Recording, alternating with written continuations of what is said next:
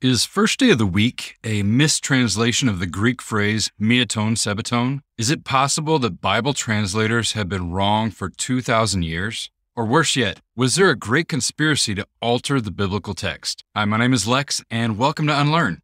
I want to dive deep into the Greek text and Hebrew context on this topic to see if we can figure out why Bible translators translated mia ton sabbaton as first day of the week. I studied Greek in college, but I am by no means a Greek scholar. However, I do believe I know enough Greek to adequately speak on this topic. Some people have recently questioned the integrity of the translation first day of the week, and they argue that a better translation would be one of the Sabbaths. I admit that if you isolate that phrase from its context, that it is possible to come away with that translation, but proper context and culture are vital to proper Bible translation. So let's look at the context for some of these uses for the phrase Sabbaton to determine what it means in its context. The first place I want to look is the resurrection of Yeshua. Now, when the Sabbath, Sabbaton, was passed, Mary Magdalene, Mary the mother of James, and Salome bought spices that they might come and anoint him very early in the morning on the first day of the week, Mia ton Sabbaton. They came to the tomb when the sun had risen. If we translated Mia ton Sabbaton to mean first of the Sabbaths, this passage wouldn't make any sense. Now, when the Sabbath was passed, Mary Magdalene, Mary the mother of James, and Salome bought spices that they might come and anoint him. Very early in the morning, on the first of the Sabbaths, they came to the tomb when the sun had risen. How can it be the first of the Sabbaths if the Sabbath is past? That doesn't make sense. Some people have suggested that Mia ton Sabbaton refers to the counting of weeks leading up to Shavuot. They say it should be translated on the first Sabbath, meaning the first Sabbath following Passover, during the counting of seven Sabbaths to Shavuot.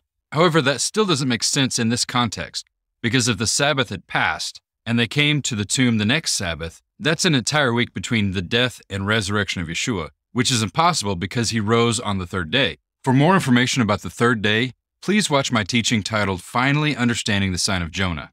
There's another verse found in the book of Acts that shows this to be an impossible translation as well. But we sailed away from Philippi after the days of unleavened bread, and in five days joined them at Troas, where we stayed seven days. Now, on the first day of the week, when the disciples came together to break bread, Paul, ready to depart the next day, spoke to them and continued his message until midnight.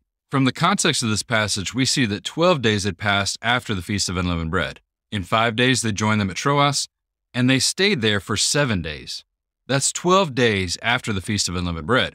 That means it's impossible for the phrase Mia ton Sabbaton to refer to the first Sabbath in the counting to Shavuot, because they would be at least two weeks into the count by then. The only possible translation in this context is on the first day of the week.